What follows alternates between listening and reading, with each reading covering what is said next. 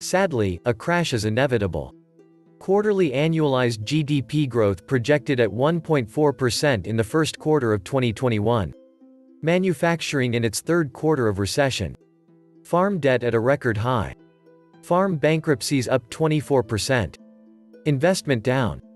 While a staggering number of Americans live paycheck to paycheck, with little savings, they also owe massive amounts of money that many will never be able to pay back. The Fed Reserve is pumping hundreds of billions into the repo market.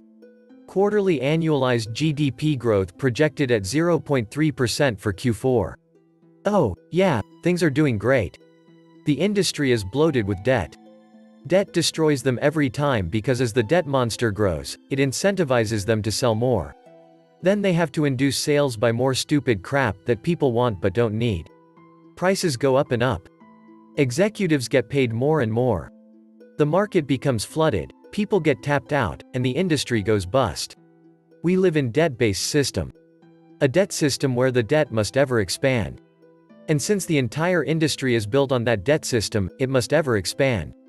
Any contractions will severely damage the global debt system. Downturns lead to layoffs. Layoffs lead to bankruptcy. Bankruptcy leads to less sales, and less sales lead to layoffs. They will have to figure out how to hand out money to keep the Ponzi going. But then, what's the point if you are just paying yourself to keep a Ponzi going? Wasn't the tax cut supposed to result in corporate investment, rising wages, and new jobs?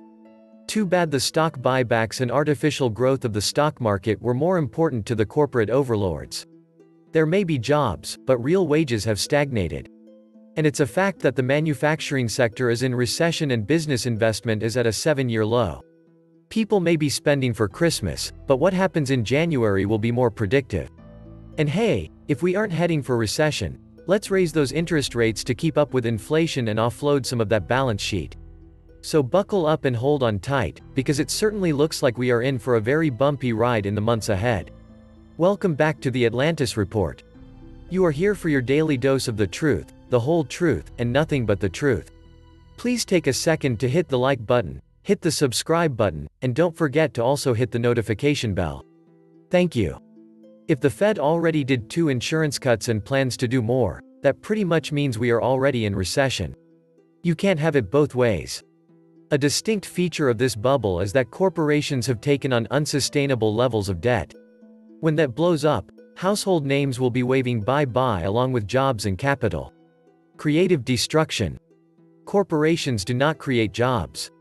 Corporations destroy jobs. Get the government entirely off of small business, and jobs will be created. Just get the government off of small businesses' backs and no more free dollars. Small businesses will figure out the rest.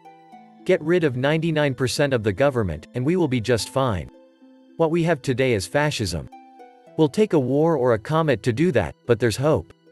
In 2001, countless tech companies had rounds of layoffs in the tens of thousands at a time. Nortel, Cisco, Ericsson, Broadcom etc. We're not there yet, but signs are pointing down for sure. The first rounds are starting from what I see, so we might start seeing the more significant layoffs beginning in six months more or less. 50 CEOs admitted that they have no intention of giving raises or doing any hiring just because the government wanted to provide them with a tax gift. And by the government very own admissions, their tax reform was first and foremost, payback to their campaign investors. Thanks, Citizens United. A bill that was the epitome of the DC swamp. Most of the people who lost their jobs in 2009 didn't get another one. Retired people who weren't working in 2009 were forced to get jobs since New York decided we needed lower interest rates, and savings accounts went to paying 18% on deposits. When you look at the numbers of actual employed private sector workers, you find a number virtually unchanged since 2008, despite 10 years of supposed job gains. Wages do not increase at the same rate as the funny money supply. The houses are not worth more than they were, neither are the cars. The money is worth less and you are getting paid less relatively. It's just bigger numbers so you feel better about it. What you're hearing and what you're seeing is not what's happening. That is basically what the government does, to convince you that everything is peachy king in the US economy, like the unemployment figures were only 3.5% when you have more than 95.5 million are out of work, which is almost 39% of the entire working age population, or that the GDP growth is 2%, when they forget to mention it is in negative territory and needs to be multiplied by 10. Or the CPI being at 0.2% when cost of living and inflation is a geometric weighing as a mathematical adjustment, not a model of consumer behavior or actual expenses. The government is trying desperately to hide the fact we are indeed in a recession. The workers that are the most vociferous about what's needed to turn the company around and or improve shareholder value are usually the first to be caught up in the layoffs. Management is self-preserving first and foremost. If they're the ones that lasted long enough to be the last one out the door, they've won the game. The guy that's charged with selling off capital equipment and office furniture is the champion. Zero is not the bottom. There is no bottom. The central banks will all just go negative interest rates. It's the next, logical, step for them and they'll get away with it too. Never before has the world gone into recession with interest rates so low they could go with inflation or negative rates or helicopter money. Or some other tactic that we have yet to consider. Who saw TARP or QE or mark to market coming? Anything that preserves the status quo and costs the elite nothing is fair game. Just give the elite a heads up, and they'll work the rest out. The power that be will do anything to bring about their evil one world order, NWO the beast system of government, and eventually religion as well, under a digital banking and exchange system. If they come into agreement, then they will probably crash the stock market and collapse the banking system next fall. Or at least try their best to do so, in order to cause people to not vote their conscience, but vote their pocketbooks based on the lies and propaganda of the left.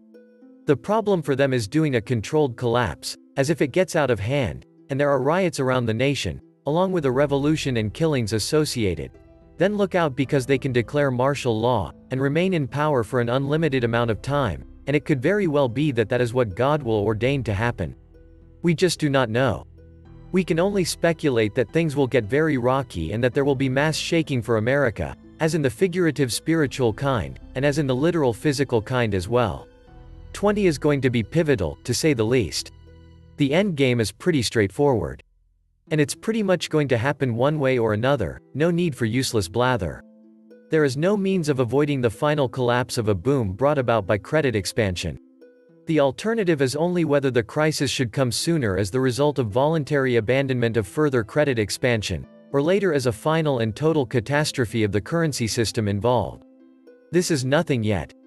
Two of them, airliners, went bankrupt in the EU, Adria and Thomas Cook, more expected by the end of 2021. If tourism and airliners are to be considered the tip of the iceberg, then it began melting recently. EU started to feel the beginning. Now we are waiting to see something real as 2008 to 2012, it was nothing.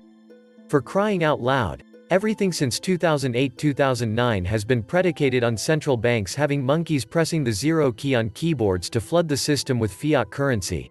I won't even call it money because it's not. This time is different. This time we will end up with tens of millions of people living under bridges and starving to death. Going forward, there will only be two classes of people, the haves and the have-nots. It is really that simple.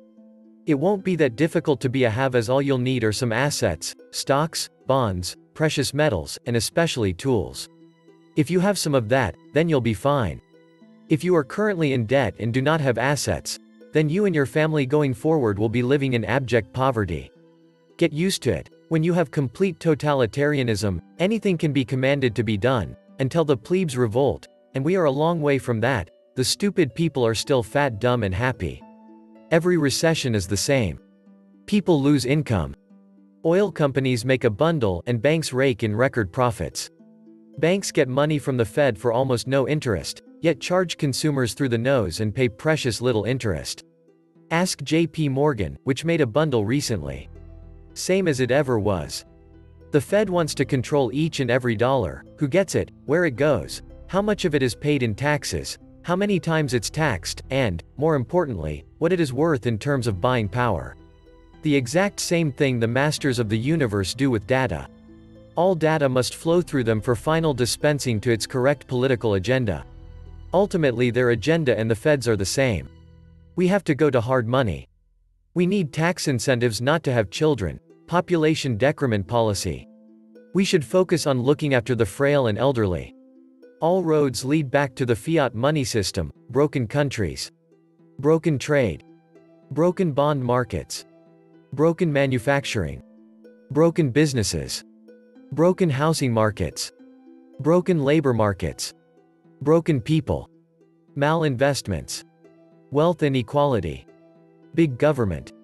Mass immigration. Wars. Even climate change. End the Fed. End the ECB. End the BOJ. End the PBOC. End the BO. End the SNB. End the RBA. Bring back the classical gold standard. Rich people can't withdraw money from hedge funds, end of the story. The bail-ins have begun.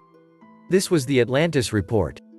Please like, share, leave me a comment, subscribe. And please take some time to subscribe to my backup channels, I do upload videos there too. You'll find the links in the description box. You will also find a PayPal link if you want to make a donation. Thank you wholeheartedly to all those of you who have already donated. Stay safe and healthy friends.